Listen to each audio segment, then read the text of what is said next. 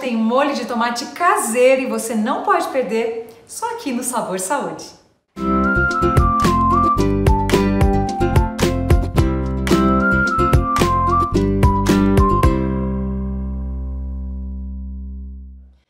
Silvio Sandros, nós Oi. estamos aqui hoje para preparar um molho caseiro, ó, da hora. Delícia. Para utilizar em várias preparações, pode ser na pizza, pode ser na lasanha, pode ser no seu assado, pode ser na sua panqueca, pode ser onde você quiser colocar esse molho delícia.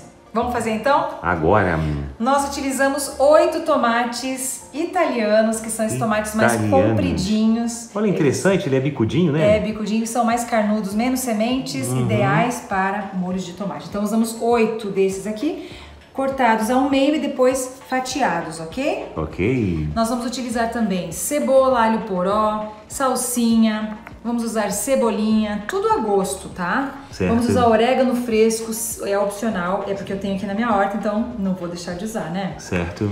Depois de assado, isso aqui tudo vem aqui para a forma. Uhum. Depois de assado, nós vamos bater no liquidificador os ingredientes. Um pouquinho de sal, eu tô usando sal rosa do Himalaia. Certo. Um pouquinho de melado para tirar Hum. um pouquinho da acidez do molho. Claro. E também um pouquinho de orégano. Orégano. Ok, orégano. Com Agora. Não pode faltar pizza sem orégano, né, Melissa? É, aquele lá tem, tem o fresco. Tem... Você sabia que é o fresco e o orégano desidratados são assim, ó? Ó o fresco. Esse aqui é original, Hum. Peraí, peraí, ó. Aqui é original. e, E esse aqui é o desidratado. Desidratation? É. Oh, que que a gente comprou no interessante. mercado. Melissa Bora Cultura. fazer. É muito fácil, muito fácil. É pra você fácil, né? Eu quero aprender hoje. Agora a gente, primeira coisa, numa forma antiaderente, para facilitar a sua vida, você já despeja aqui todo o seu tomate. Ok. Coloca, Tomate italiano. ó, coloca também os outros ingredientes. Certo, tá? todos os ingredientes aí reunidos, misturados e envolvidos.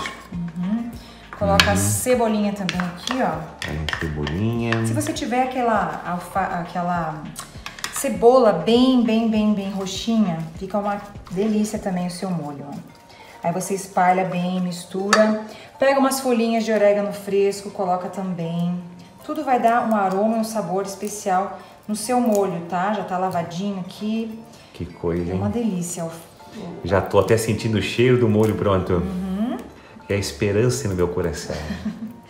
E olha, vocês pediram essa receita de molho caseiro, já tem lá no meu blog, mas a gente vai pôr a mão na, no molho aqui e fazer para você saber como é fácil e simples fazer esse molho, ok? A gente mistura tudo aqui, mistura, mistura, mistura, mistura.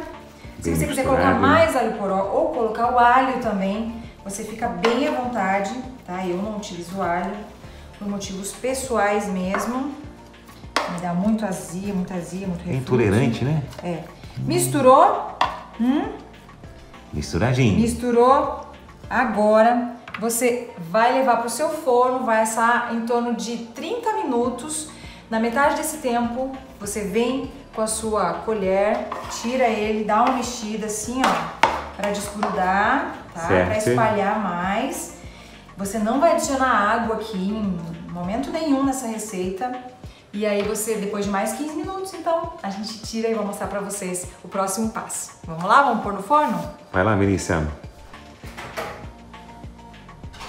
É hora de tirar do forno o nosso molho pra gente bater no liquidificador e ficar prontinho pro uso. Nós assamos esse molho por mais ou menos 30 minutos no forno alto, no caso 200, 210, 20 graus mais ou menos. Então 30 minutinhos, misturamos ele na metade do tempo e bora tirar então. Olha que tá quente. Uau! Olha só, olha só, Silvio Sandro. Que coisa mais, mais perto, vem linda! mais. Tô indo, Melissa! Olha só, Que coisa mais nosso deliciosa. tomatinho desidratado aí, então. Tá certo? Olha que molho. Mas como é que faz agora? O que, que qual é o próximo Agora passo? o próximo passo é. Eu adicionei o orégano, o sal e um pouquinho de melado e tô batendo agora, gente. Rapidinho. E agora a gente coloca aqui no nosso bolzinho o nosso molho rústico delicioso que vai poder ser usado em qualquer preparação que você precisa de molho, tá bom? Olha só. Bem pedaçudinho. Se você quiser mais, é só bater bem pouquinho mesmo, Verdade. tá bom?